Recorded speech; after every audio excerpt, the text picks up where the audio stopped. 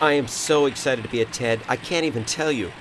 I just, it's just, it's nerve wracking because, you know, there's going to be a lot of people watching, and I really want to do my best. Uh, I don't want to mess it up, and I know that, that Marco's depending on me, so it, it's a very exhilarating moment. I just hope I don't mess it up. Marco's been so patient with me, and uh, I know he's counting on me. So, you know, he painted me by hand.